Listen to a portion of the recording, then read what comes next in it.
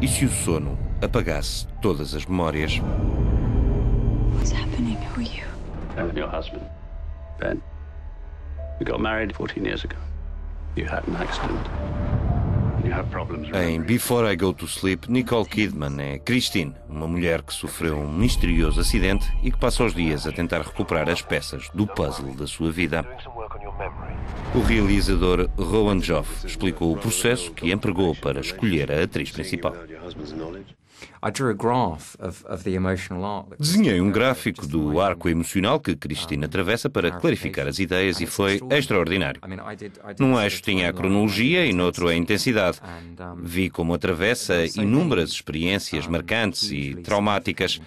Tracei um lado negativo e outro positivo, já que ela também vive momentos de intenso prazer.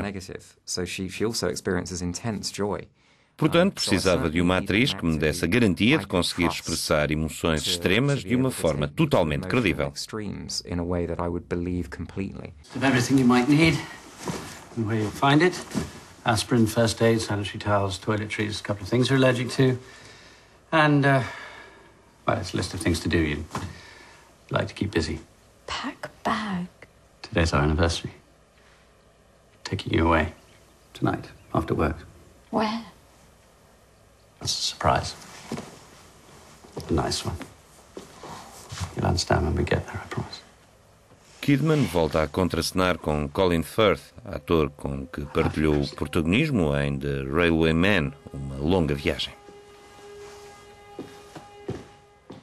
I love working with him because he's just very um, he's he's just such a fine actor. Adoro trabalhar com ele, refere a australiana. É um excelente ator e é uma grande ajuda trabalhar com alguém tão talentoso. Acho que apanha bem o meu ritmo, faz-me rir, não é arrogante nem emproado. É fácil trabalhar com ele. You know, no frills. He doesn't come in with any sort of airs and graces. He's just very easy. Who did this to me? No one knows. No one but you. He says he's protecting you, but don't trust him. Before I Go to Sleep ainda não tem data de estreia em Portugal.